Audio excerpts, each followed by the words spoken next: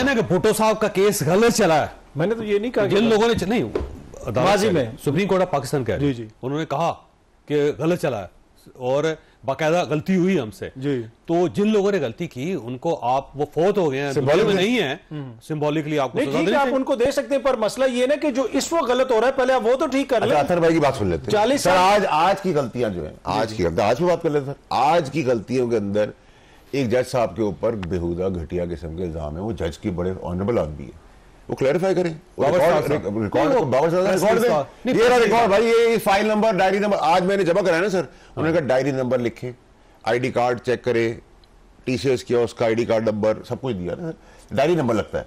ऐसा नहीं कि मेरे पेपर लिख के दे दिया या आप जाके बोले मैंने चौधरी साहब को कल कत्ल करना है उसके फवायद दिए मैंने जबानी बता दिया मैं निकल गया। नहीं है ना पॉसिबल तो आज को करेक्ट कर रहे हैं? आज इसने ऑर्डर लगा लेकिन था, सर थोड़े दिन पहले बाबर सार साहब का जो केस थोड़े दिन पहले बाबर लगा। आप क्यों हैं उनके पीछे? सर थोड़े दिन पहले पे ऑर्डर थोड़े दिन पहले थोड़े दिन पहले लगा है स्टे ऑर्डर आज की तारीख में हुआ ना सर स्टे ऑर्डर वो क्रेडिट करते हैं। उसी दिन सर उसमें आप कहते हैं गंदम वाले का जाती होगी। ये गवर्नमेंट का काम है। वो बेच के दे दे वो पूरा मुल्क उनको दे दे।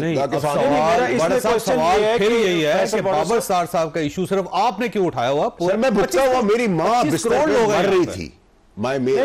पास्ट में उनकी डेथ तो- हो गई। जो- एक मिनट सर। एक मिनट अथर भाई आपने भी इसको क्लियर करना है। मेरे मेरे बिहाफ पे। मेरी वालदा की डेथ हो गई। असूल था ना।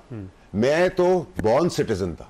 ठीक है सर पैदाइशी था। मुझे नहीं पता था गाँव में पैदा होगा अमेरिका में पैदा होगा। मेरे को वो तो नहीं लिया था। मेरे बीवी बच्चे भी आज भी सिटीजन नहीं है। ना मेरे बहन भाई है मेरी पाकिस्तानियत को ना क्वेश्चन करे। लेकिन उसके बाद आरओ नादरा सबमिशन सब कुछ दी थी। उस वक्त भी दी थी। लेकिन दो दफ़ा सजा मिली। ट्रायल के बगैर दो दफ़ा सजा मिली। तो असूल जब बने हैं तो फिर असूल पे आज आपको खड़े होना है। मैं तो सिर्फ़ ये कह रहा हूँ कि आपकी कैंपेन के मुताबिक थर्ड क्लास कैंपेन है नहीं होना चाहिए आपके मनसब के ऊपर। और आपको बाख्तियार और क्लीन आदमी होना चाहिए। और है आप क्लियर करें। अगर तो राइटिंग में नहीं है तो फिर दोनों के लिए बहुत बड़ी प्रॉब्लम है। अच्छा वैसे ज़बरदस्त किस्म के जज है।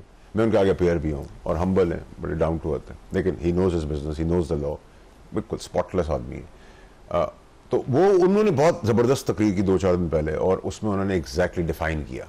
कि आपका भर्ती करने का तरीका भी गलत है। उन्होंने अपने अंदर सवाल उठाया जो हमें सुकून देता है कि अब हमारा एस आई एफ़ सी जो चीफ हैंडल कर रहे हैं।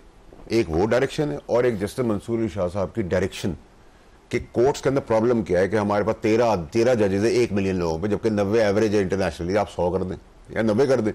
फिर आपने सोलह परसेंट खवतान रखी हुई उनको छब्बीस परसेंट तीस परसेंट लेके आए उन औरतों को आगे लेके आए जो औरतों का परस्पेक्टिव होगा एक फैमिली इशू के अंदर वो किसी का नहीं हो सकता। फिर उन्होंने आपको कहा आर्बिट्रेशन होनी चाहिए। फिर उन्होंने कहा कि पेनल्टीज होनी चाहिए। इस पर इल्ज़ाम उस पे इल्ज़ाम मुफ़्त में निकल गए बाहर। दूसरे का तबाह कर गया उसको। तीसरा उन्होंने कहा कि जी आपके बजटिंग होनी चाहिए। चौथा उन्होंने कहा सत्तर हज़ार केसेस वहाँ जाते हैं भाई यहाँ चार हज़ार केसेस है। उन्होंने अपनी प्रॉब्लम है वो आइडेंटिफाई टेक्नोलॉजी का होना चाहिए। इसका उन्होंने कहा मैं शर्मिंदा हूँ।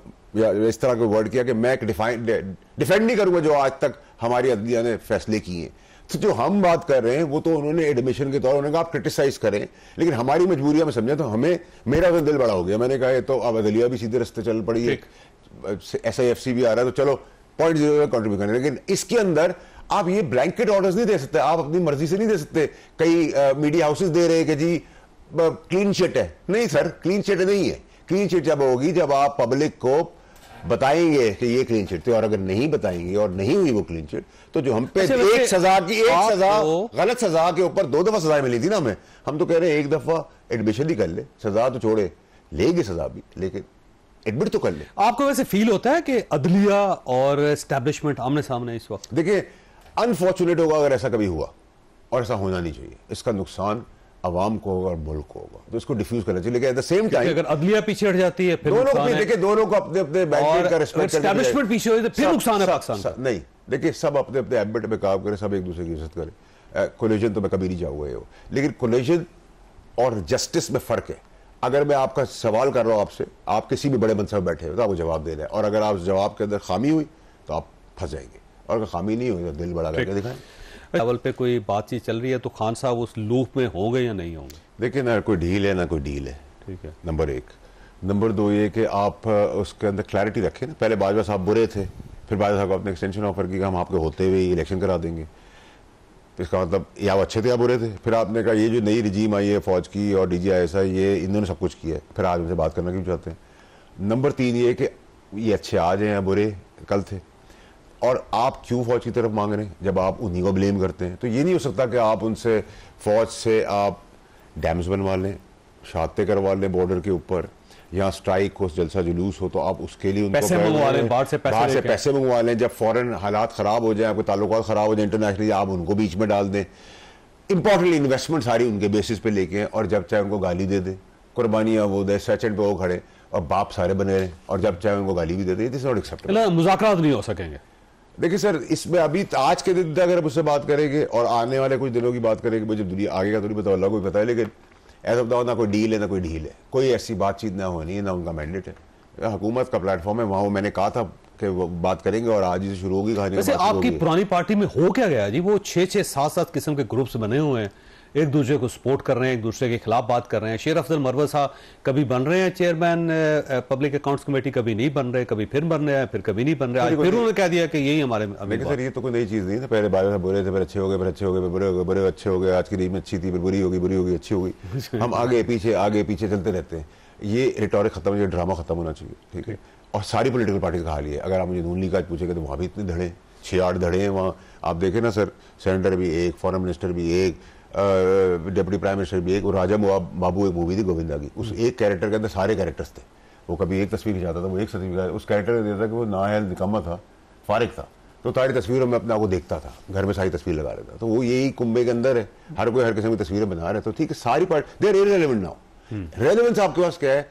एस आई एफ़ और जस्टिस मंसूर साहब की जो तकरीर है और जस्टिस फायजीसा साहब जो बातें कर रहे हैं। ये आपकी रेलिवेंस से डायरेक्शन आप आप इधर देखें उधर ना देखें। ठीक है। इनको वैसे जब आप शेर अफजल मरवत साहब को देखेंगे कि वो पब्लिक अकाउंट्स कमेटी के चेयरमैन की कुर्सी पे बैठे हुए हैं तो कैसा मंजर होगा? देखिए मैं आपको एक बात बताऊँ कि मरवत साहब मुझे जाती तौर पर बहुत पसंद है। ठीक। कि वो यहाँ से साफ़ है। क्लियर है? यहाँ से साफ़ है। अच्छा यहाँ से। ह्यूमर भी मुझे उसका पसंद है। वो यहाँ से साफ़ है। बाकी सब मुनाफिक है। सब लेटे हुए जो खड़े खड़े दिखा रहे हैं जो बैठे बैठे वो गवर्नमेंट का लेटे हुए वो जब बैठता है तो भी बता देता है जब खड़ा हो जाता है तो भी बता दो यहाँ से वो क्लियर है। और मेरा ख्याल है कि मैंने जिस तरीके से वो पार्टी को लेके चल रहा है आ, वो भी ठीक है कि लोग उसके मुखालिफ भी हैं। जैसे मैं था ना कि ज़रूरत कोई नहीं सामने करता था। सामने फिर उसका कांपते भी है which is a good thing keep it up बड़ी अच्छी बात। है वैसे फरमाइए काजमी साहब कि ये गवर्नमेंट एक्सेप्ट कर लेगी शेर अफजल मरवत साहब को? गवर्नमेंट को क्या इशू है उनके साथ? क्या शेर अफजल स्पीकर साहब गवर्नमेंट मेरा ख्याल नहीं नहीं नहीं क्यों नहीं करेंगे? मेरा नहीं ख्याल उनको कोई इशू होना चाहिए। देखिए पब्लिक अकाउंट्स कमेटी के पहले कौन से यहाँ पे नेल्सन मंडेला साहब होते थे या कोई माजी में विंस्टन चर्चल रहा है यहाँ पे? यहाँ पे इसी वैसे बड़ी दिलचस्प है कुछ अरसा पहले तक कौन थे? कुछ लोग कहते हैं। कि इमरान खान साहब चाहते हैं शेर अफसल मरवत साहब को बना दें। फिर पार्टी के कुछ और लोग स्पीकर साहब के पास चले जाते हैं, कहते हैं, बिल्कुल नहीं बनाना इनको था।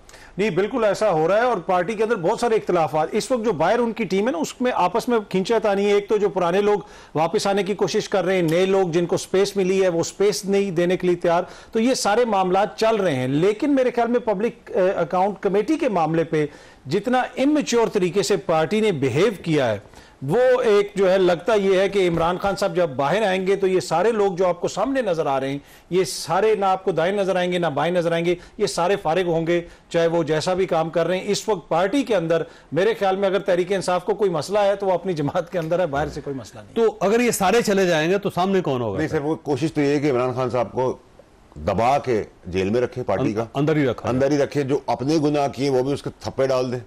और उसकी मकबूलियत से मज़े लूटते रहे। ये बात मैं आपको अग्री करता हूँ इनमें से कोई नज़र आपको खान साहब आपको वैसे नियर फ्यूचर में बाहर आते हुए नज़र आ रहे? देखिए बड़ी तलख हमारे वहाँ हिस्ट्री है छः और नौ नौ और छः बहुत अब तक देखा पाकिस्तान में कोई चीज़ नामुमकिन नहीं है। आपके लिए शराब हराम हो सकती है मेरे लिए हो सकती है। तो ये तो छह और नौ का खेल चल रहा है। देखते कब तक तो चलता है। वैसे पार्टी ये कह रही है कि अप्रैल में आए ना वो अप्रैल तो तो खत्म कह रहे थे। खत्म हो गया लेकिन मैं आपको एक बात बता दूँ कह रहे मई में आ जाए। देखिए नौ मई का वाक्य जो है ना उस पर अकाउंटेबिलिटी होगी रूथलेस उसके लिए अगर कानून बदलना ही पड़ा तो हम बदल देंगे।